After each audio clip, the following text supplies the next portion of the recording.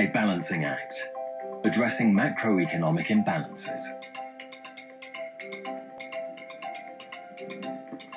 Europe's economies are very closely linked. We trade freely with each other, and many of us even share the same currency. This means that we depend on each other for our success and that we all need to maintain our balance.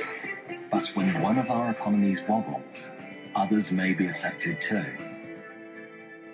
For instance, high unemployment or persistently low investment in one country could affect other countries by lowering the demand for their goods.